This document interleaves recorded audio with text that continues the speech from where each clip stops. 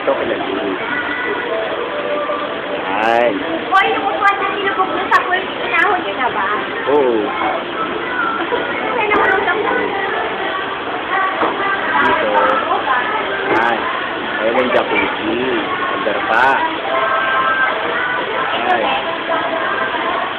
Ito ang cottage. Si Panya, si Ayun. Ayun. 2. Ayan, dun sa kwarto namin sa taas.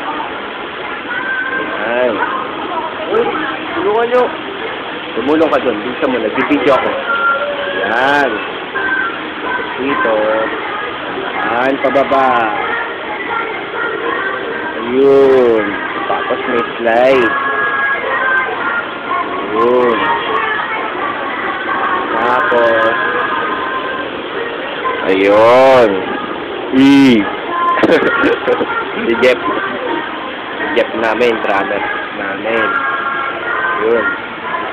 Yun yung quarter. Sa mga driver, saka gwardiya. Yan. Tapos ayun, doon daw sila Lu, yan, kwarkwata nila Lu. Ayun, yung pala, yun.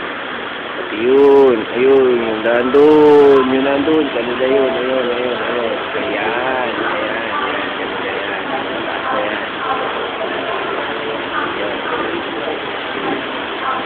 Diba? Ayun, galing na.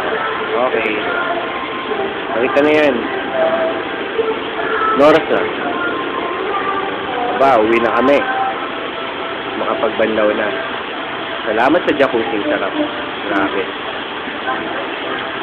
Nakagamit na gamit eh. Jacuzzi.